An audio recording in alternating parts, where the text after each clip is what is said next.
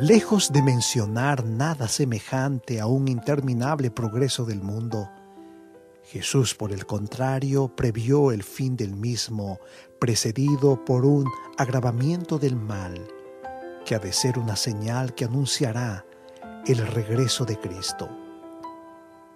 Y es este el verdadero objeto de la esperanza cristiana, que corre a través de todas las páginas del Nuevo Testamento y que el Apocalipsis expone en una grandiosa pintura. Por eso, mantengamos siempre una actitud de preparación frente a este gran acontecimiento de la historia, el regreso de Jesús.